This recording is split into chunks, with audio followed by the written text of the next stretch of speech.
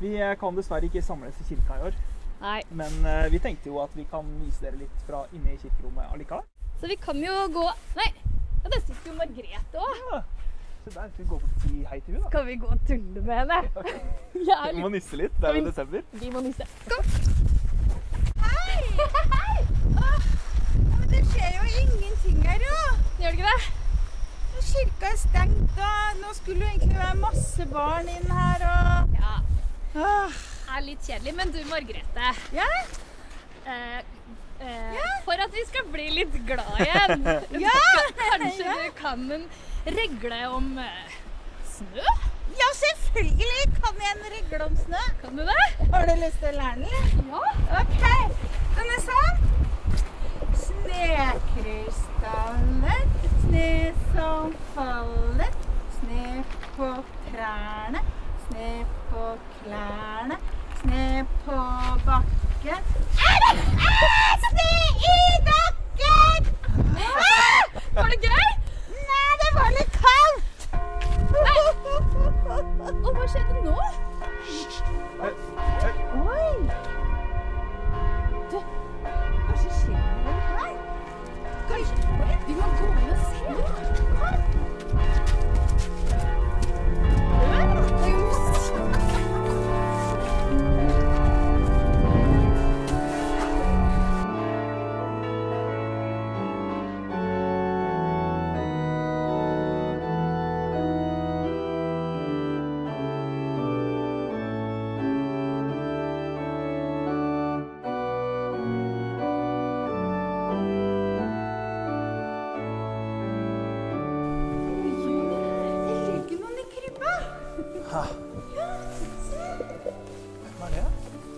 Lurer, lurer kanskje på om Kan det det er være Jesusbarnet, da? Jeg tror kanskje det. altså.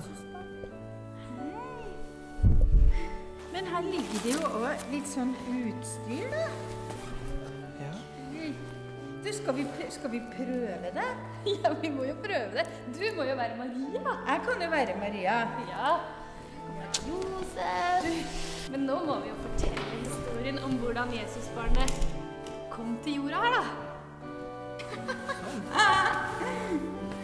Men du, Josef, jeg tror ikke han hadde solbriller. Eller briller. Den kan ikke ha på briller. Nei, nei, jeg tror du må ta av deg brillene, altså. Ja. Ja. ja, jeg kan begynne å fortelle. ja. Stå der nede, så er dere klare. Ja. Ok? Nå skal du få høre en veldig gammel historie som skjedde for veldig lenge siden, langt herfra. Og du har sikkert hørt historien om den lille gutten som ble født i Betlehem. Men historien vår starter ikke i Betlehem. Nei, den starter ni måneder tidligere hos ei ung jente som het Maria. En dag kom det en engel til Maria og sa til henne, Maria, du skal bli mamma. Det kunne ikke Maria forstå, for hun hadde jo ikke vært sammen med noen mann. Men engelen sa til henne, Gud skal være guttens far. Kall han Jesus, for han skal være stor og kalles den høyeste sønn. Og så ble Maria gravid. Og engelen passet på å besøke Josef også.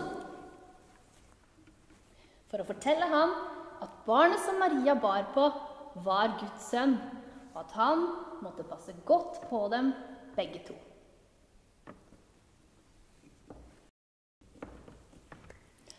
Nå var det sånn at alle i landet skulle telles. Og det foregikk på den måten at alle måtte reise til den byen som de stammet fra. Josef tok da med seg Maria for å reise til Betlehem, som var en by over 100 km unna. Og veien var veldig lang når de skulle gå. Og for Maria, da, med den store magen, var veien ekstra lang og tung. Maria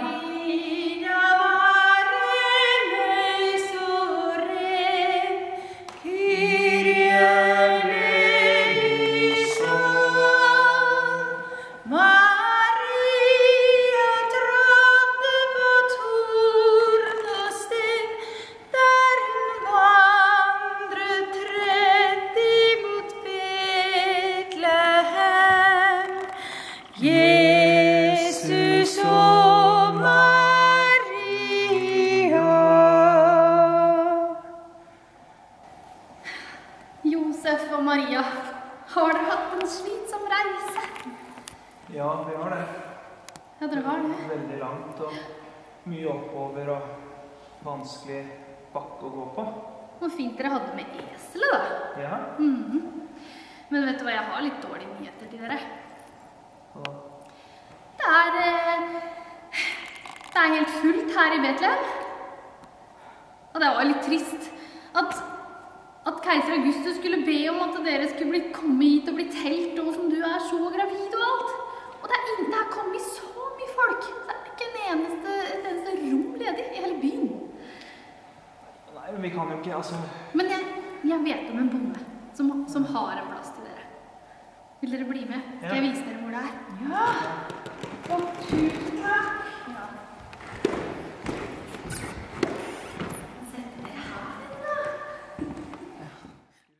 Bonden lot Maria og Josef få sove i stallen. Og der var det lunt, og det var en ny halm som de kunne få lov å, å ligge i. Og der fødte Maria det lille Jesusbarnet. Men det er ikke noen senger i en stall, så Maria la det lille barnet i krybben til kua. Og lukta av dyrene i stallen var himmelkongens første møte med denne jorda.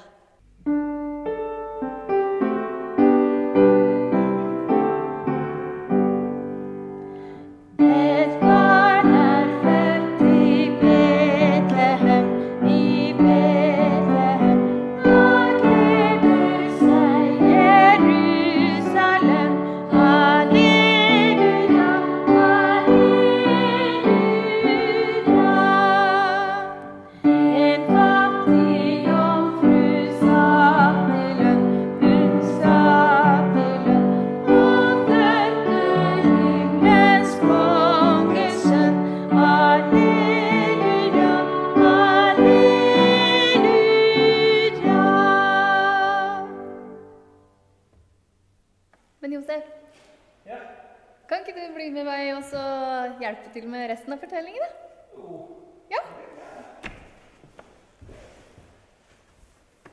Så får du passe på Jesusbarnet du, Maria.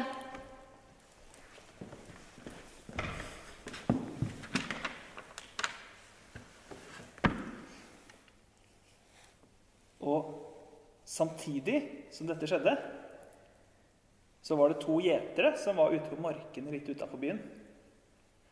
Og det her var en helt vanlig kveld for de, og de passa på sauene sine midt på natta. Men plutselig så var det et kjempestort lys der. Og de hadde jo aldri sett noe sånt før og ble kjemperedde. Men så så de at lyset det kom fra en engel. Og engelen sa, 'Ikke vær redde. Jeg har kommet for å fortelle dere noe fantastisk.' Og så fortalte engelen dem om Jesusbarnet som har blitt født i Betlehem. Og plutselig så var det kjempemange engler på himmelen. Det var et helt kor som sang. Gloria,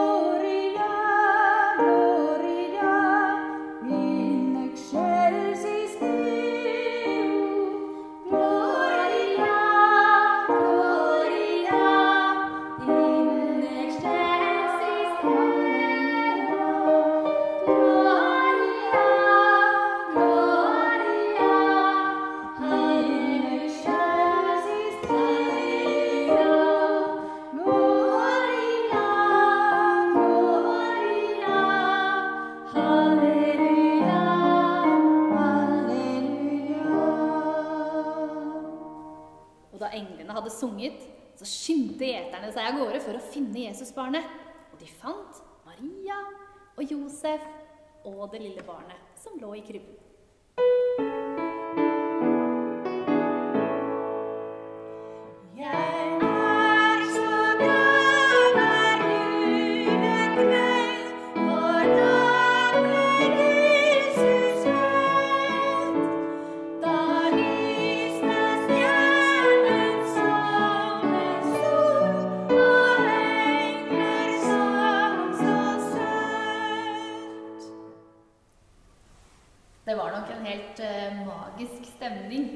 stallen den første jula. Og Maria tok vare på alt som hadde skjedd, og gjemte det i hjertet